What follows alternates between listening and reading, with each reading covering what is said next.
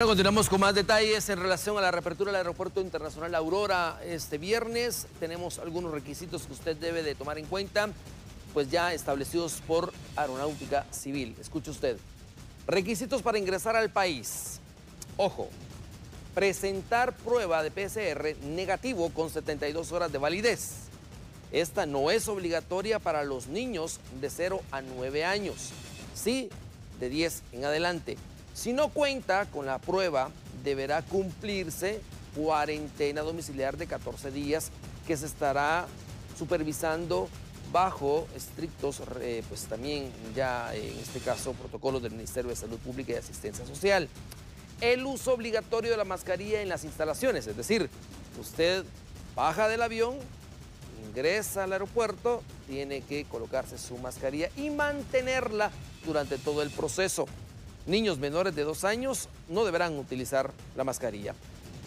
Respetar la señalización de distanciamiento social, es decir, el metro y medio físico. Ya está marcado, ya lo veíamos en los protocolos de estas semanas, ya está marcado la distancia, dónde tiene que pararse, dónde tiene que colocarse, si va a hacer un trámite a la agencia, a la aerolínea que está internamente, si va a migración. Todo esto tiene ya específicamente sus marcas.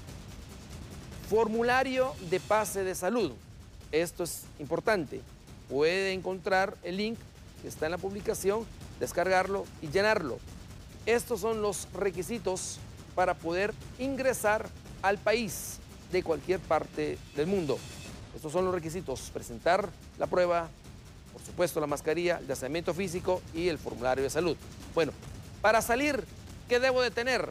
Por ejemplo, yo voy a salir del país, voy a ir a Honduras, por ejemplo, voy a ir a México. Bueno, uso obligatorio de mascarilla en las instalaciones. Al igual, usted ingresa, baja de su vehículo, ingresa al aeropuerto, se coloca la mascarilla. Niños menores de dos años, pues no deberán utilizarlo, no es obligatorio. Verificar requisitos de ingreso en el país de destino. Comunicarse de esta manera directamente con su aerolínea para verificar los requisitos del ingreso al país de destino. Puede llegar acompañado únicamente por una persona.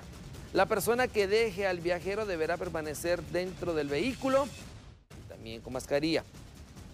El envase de gel antibacterial permitido en el equipaje de mano es de 12 onzas a 355 miligramos.